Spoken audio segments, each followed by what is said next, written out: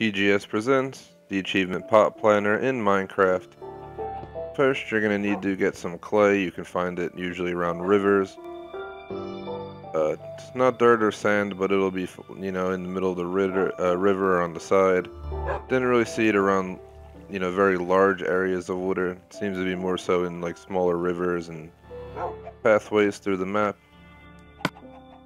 At least from my experience. Uh, I got a bunch of clay all in one little spot.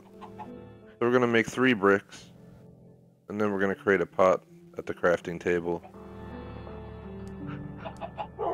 So, that's one. Have some patience. And it will be worth it. And a two. And... And then... Three. Alright, let's grab those. We ain't got time to wait. Pull the rest of these out of here so I don't waste my fuel. Now what we're to do is we're to go all the way to the right. Here it is. Clay pot. We got it. Now we're to take it. This is my room. Haven't really decorated it yet.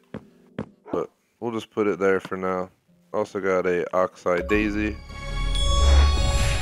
Pot planter achievement rare 6.04% even though it's really simple. Craft and place a flower pot. You didn't need to put a flower in it. That's just an extra. Make sure you like and subscribe.